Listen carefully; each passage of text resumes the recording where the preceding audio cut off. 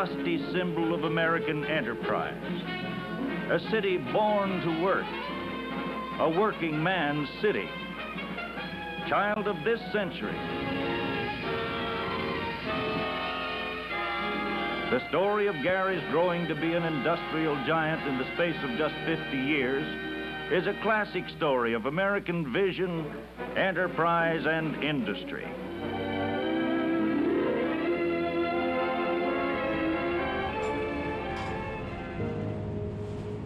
Because of the decline of the steel industry, people lost thousands of jobs. The steel mill went from employing 25,000 people here in the city of Gary to employing less than 5,000 people. As a consequence, there were more abandoned homes, there was more crime, there was more poverty, and that still exists today. Forbes magazine concluded that we are one of the most miserable cities in the United States. Our jobless rate is more like 30 to 40 percent. We must create jobs here in the city of Gary. Newly elected mayor Karen Freeman Wilson has put together a team to try and restore her city's hope and recapture its dreams. Well, when I look at the current state of Gary and the current state of affairs, um, and if I were to give you an overview, I would have to start with the budget. Uh, we have a budget deficit, and quite frankly, um, against a budget that has already been reduced significantly, so there really isn't a lot that we can cut. 60 people at an average of 30,000 per person without benefits, that's 1.8 million. Right. Uh, and if you add benefits, that takes us To- If you worst- struggle, yeah. you end up having to let go 72 people. When I thought about my senior staff, I thought about people who had expertise in the areas that we needed um, expert advice in. You want to make sure that we're dealing with the structural issues within the department. Because if we're I thought about people who had either the same love or a similar love for the city of Gary. And I thought about people who were willing to make a short term sacrifice, understanding that uh, not only would it pay off to the city in the long term, but it would pay off to them personally in the long term as well. this city is on life support and things are things are bad. That we could not get any money. We went from an $84 million budget just a few years ago to a $47 million budget. That's unbelievable to be able to maintain city services at a 50% cut. I have city employees that I'm struggling to pay their salary. Nobody wants to cut police. That said, though, we're gonna have to do something, and y'all know that. Because you guys, not just police, but police and fire, making up 80% of the budget. I mean, we're really at that point now where we're we're taking a very calculated but a, a major risk. In most cities, a substantial portion of the money that's actually spent is not discretionary. There are things that just have to happen. But in this city, we are broke. Here at Gary, where we are focused on managing cash every single day. If I pull half of the people out of the detective division, then that means that the one or two detectives I leave in burglary, they would probably have a caseload of about 2,000. Right. And people would complain about not getting phone calls, follow-ups. Same way with robberies, that would, uh, citizens would suffer because the det- we wouldn't have enough detectives to service the people. to have an increase in gunshots and to even think about possibly having to cut public safety, no way, we can't do it. We need money.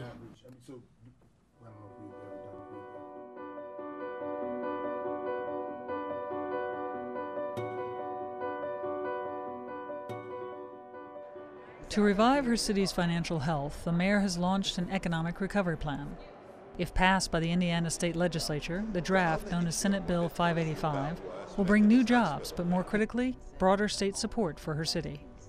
And our mayor, Karen Freeman Wilson, came down. We met with uh, Senator Kenley and Charbonneau and others, and she shared with them this booklet entitled A New Day, The Rebirth of Gary. And that's what this legislation helps us to do, is to continue what we feel is the rebirth of Gary. Our chance for sustainable recovery in the city of Gary really comes from our ability to bring new jobs through new businesses and through the expansion of existing businesses. I've been here 30 years and I don't think I've, I've seen where the city of Gary has come to the legislature with a list of things to say, here's what we need, this is how you can help us. Part of the economic development plan is the expansion of the port. Well, you're connecting that port to rail services, to truck services. They're expanding the runway and the airport. That's right. So any, you know, it's kind of a hub for all transportation services. If Senate 585 bill does not pass, 8 to 12 percent of people that we're going to have to cut. Now, the city has already cut about 25 percent of its workforce. Thank you for being here. Thank You you had good meetings today? The I had great meetings, great meetings. We had, uh, goodness, we were, spent about an hour, hour and a half with governor's folks, so. Good. Good. That is fantastic. Yeah. Yeah, I consider Senate Bill 585 pivotal for us.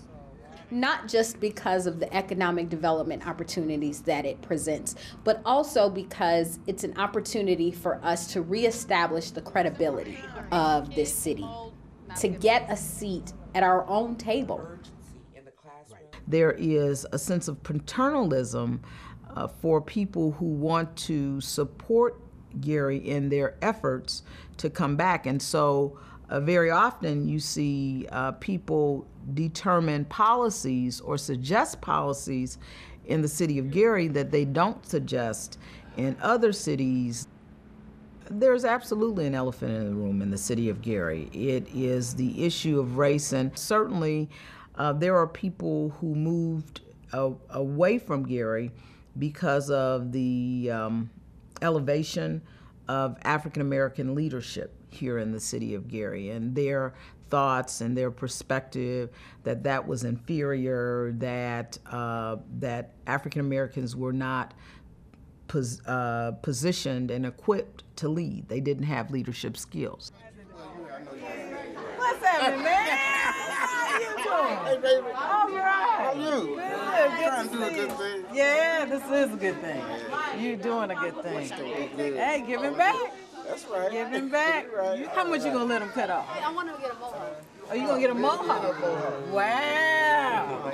That's the Hey, what's going on? How are you doing, brother? All right, appreciate it. Hey, young man, you gonna be so handsome in school? Looking good. What's your name? Say it again.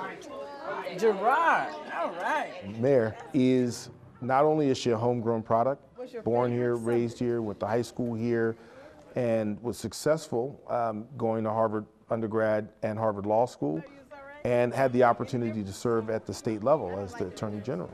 And often when you serve at that level, people don't go back to their hometown and also choose to serve.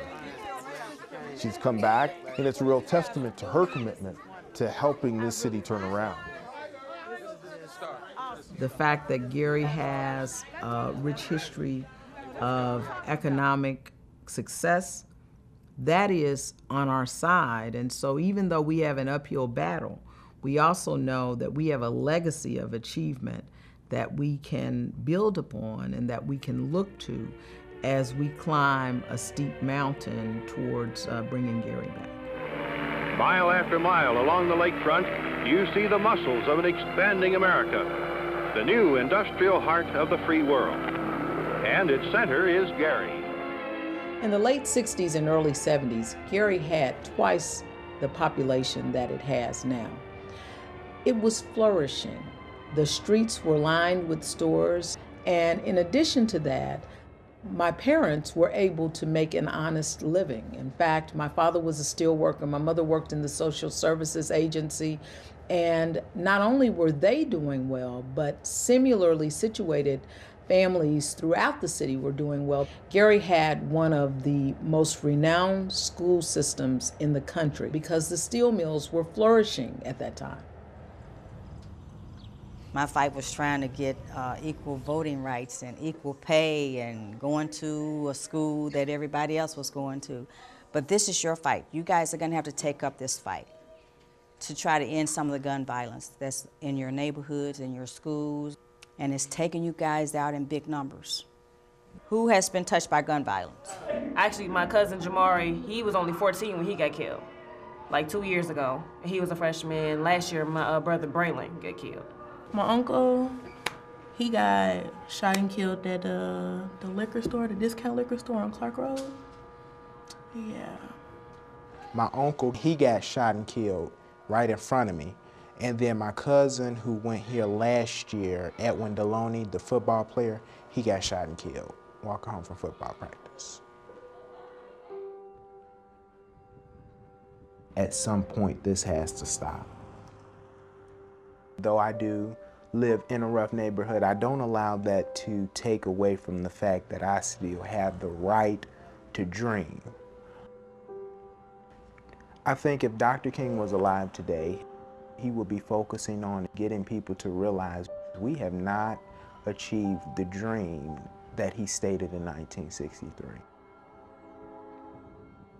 Dr. King would let us know that we are really oppressing ourselves and that we are doing things to damage ourselves. And it, it kind of irritates you when you sit back and you hear everyone talk about what needs to be done or what should be done. But when it comes down to it, the only thing that's going to change everything is action. Family and friends are mourning a Gary man who was shot and killed outside the restaurant where he worked. Three men were found shot to death early this morning in Gary, Indiana. Just before 2 a.m. Shooting death of an East Chicago man whose body was found in his SUV early Saturday morning. Lake County Coroner's Office says 24-year-old DeVay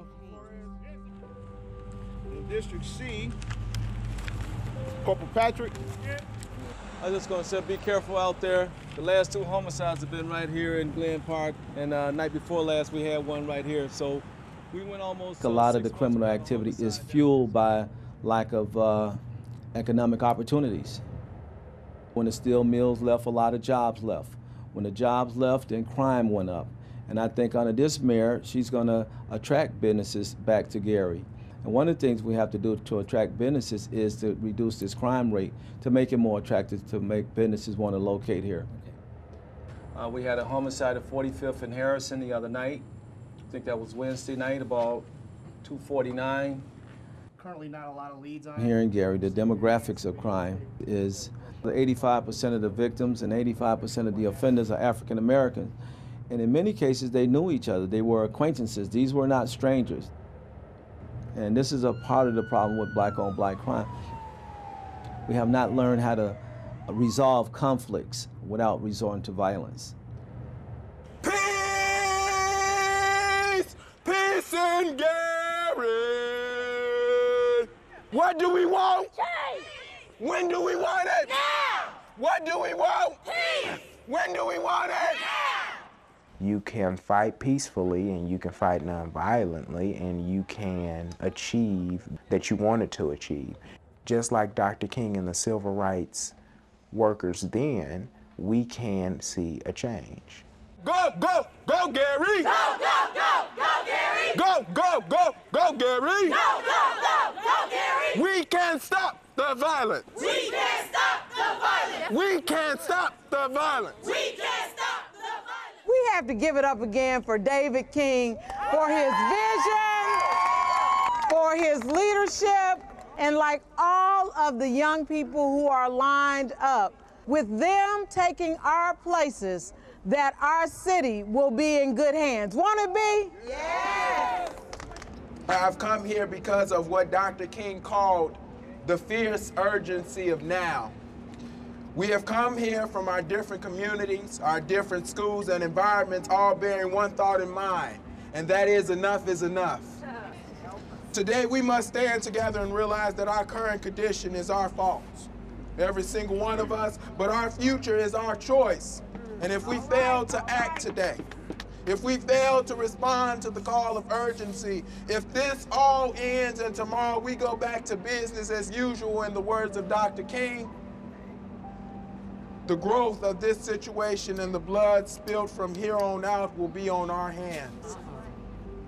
In Gary, we're extremely concerned about the incidents of violent crime in our city, but we're also understand the importance of the community coming together. What this really represents to us, other than the specifics of the bill, is a signal from the State House that the economics and the economic achievement in Gary, Indiana matters to the rest of the state.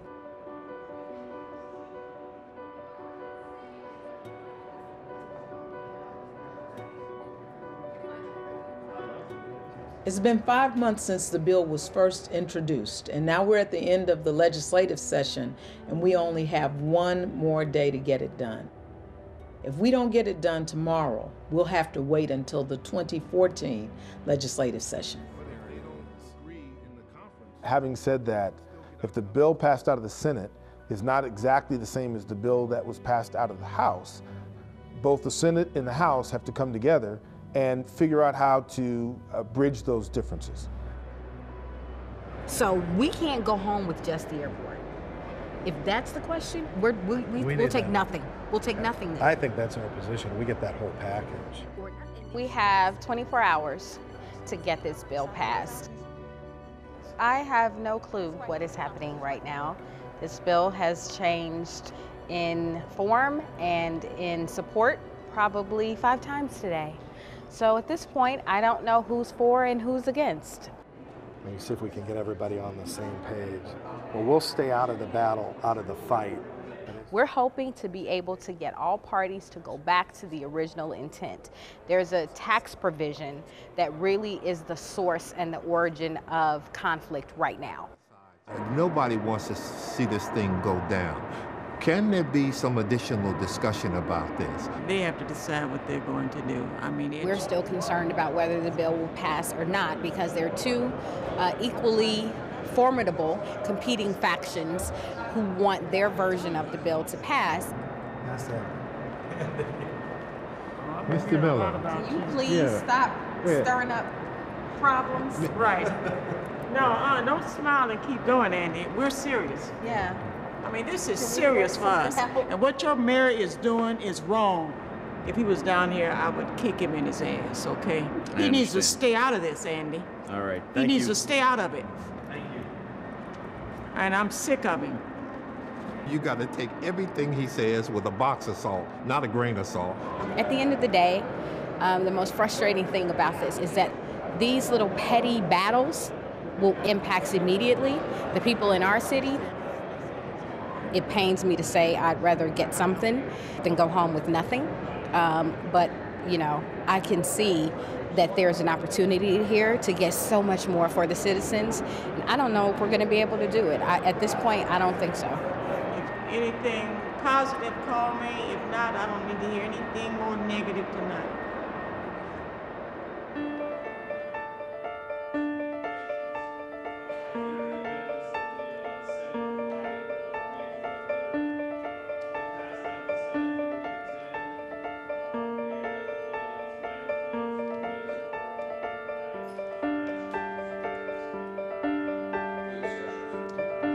Okay, we're ready now to return to our calendar and let's go back to those concurrences eligible for action.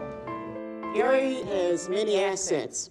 This bill would aid and assist us in terms of our rebirth and moving forward.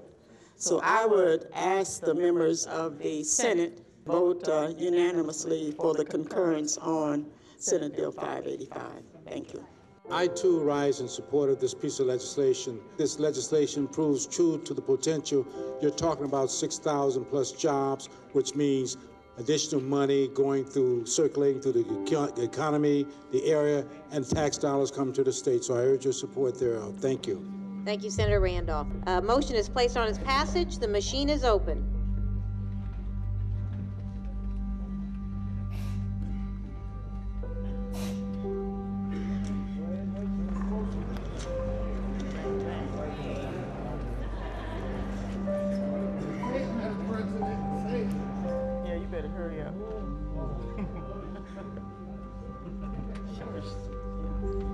Senator Snyder.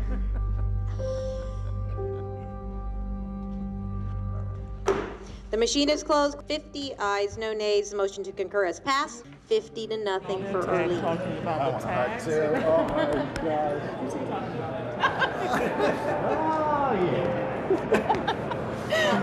I'm glad he said it was you who wanted to give me a hug and not him. You know you said no way. We are extremely pleased to have Governor Mike Pence here today because he is here to conduct a ceremonial signing of Senate Bill 585.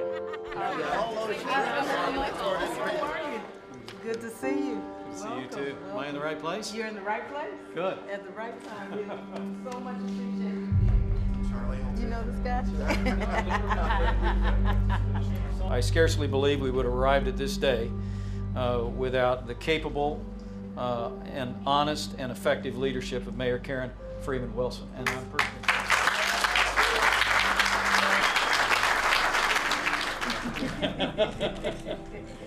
All right, everybody ready?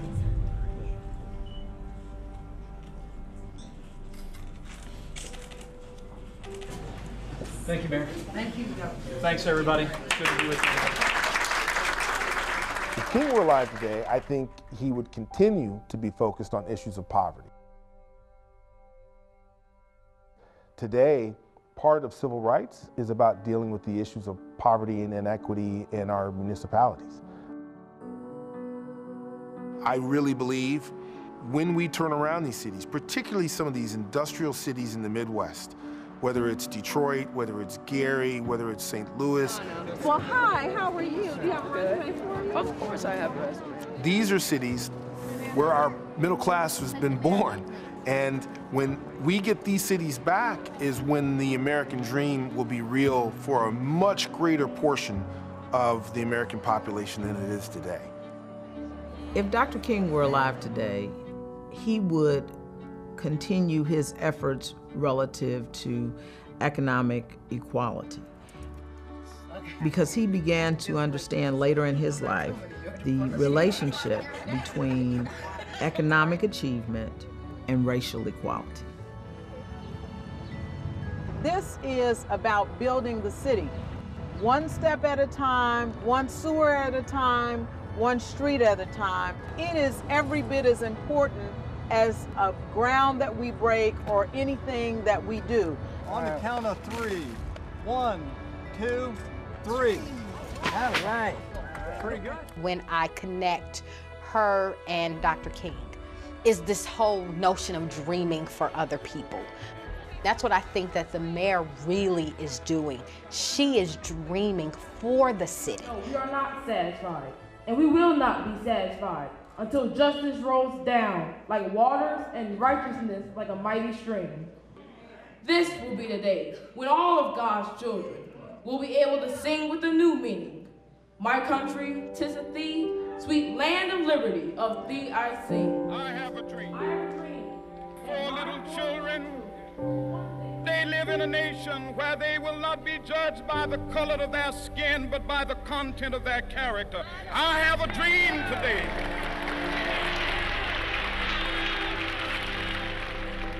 Hill and mountains shall be made low, the rough places will be made plain, and the crooked places will be made straight. And the glory of the Lord shall be revealed, and all flesh shall see it together.